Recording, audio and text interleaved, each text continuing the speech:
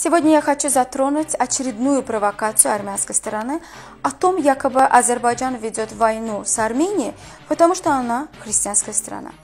Уважаемый зритель, я хочу отметить, что сегодня в Азербайджане проживают представители более 50 различных национальностей, в том числе и армяне.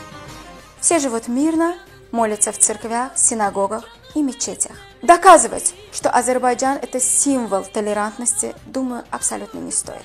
Давайте лучше послушаем, что об этом думают представители различных национальностей из Азербайджана. Мой Карабах, ты улыбнись. Пришла пора встречаться. С немалым 30 долгих лет. Не мог я улыбаться. Я счастлива, что дожила. Молиться я не перестану. Вперед, солдат мой, до конца. Горой за родину я встану. Азербайджан, ты родина моя. В душе моей ты навсегда. Шуша, ваша, пожалуйста. Жду встречи с вами, как никогда. Не сплю ночами, все молюсь и жду конца с победы. Уверен, я к тебе вернусь. Не за горами это.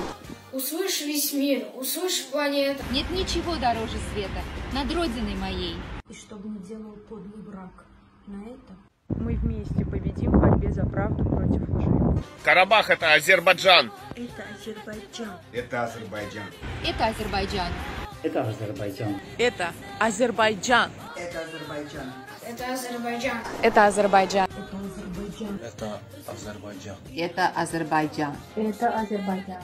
Карабах – это Азербайджан. Это Азербайджан.